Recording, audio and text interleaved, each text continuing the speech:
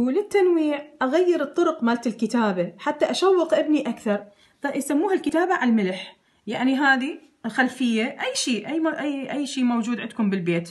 بس تكون خلفية براقة ولونها ظاهر يعني. مثلا أكتب حرف الأي هذا حرف الأي وبسهولة أرجعها حرف الإي هذا حرف الإي وبسهولة أرجعها وأعتقد الأطفال كلش يحبون آه هاي الأشياء. إنه بسهولة الحركة وإنه بسرعة يكتبون وبسرعة ترجع مثل ما هي. حرف الأم هذا حرف الأم حتى رسم الأشكال ممكن. أبل هاي الأبل أي شيء ممكن يسووها يسموها طريقة الكتابة على الملح.